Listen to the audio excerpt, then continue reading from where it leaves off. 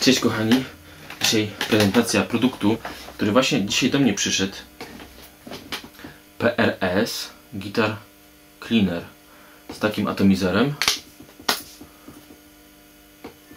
E, Jest to czyścidło do gitary, można powiedzieć.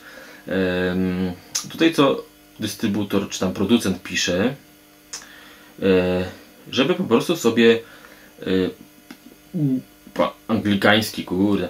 E, dobra, ym, to jest powiedziane, że po prostu do czyszczenia ogólnie gitary unikać e, części metalowych lub przetworników. E, no, pewnie to najlepiej byłoby aplikować sobie na, na jakąś szmatkę albo nawet na korpus sobie psiknąć i wypolerować. Co do zapachu, jak sobie niuchnę, nie ma zupełnie żadnego zapachu. Ja wiem, plus czy minus, trudno, trudno to powiedzieć. W każdym razie firma PRS, Paul Red Smith. E, Nie wiem jeszcze jak to działa, będę testował. Ewentualnie jak coś będzie nie tak, to będę pisać, żeby przypadkiem tego nie kupować.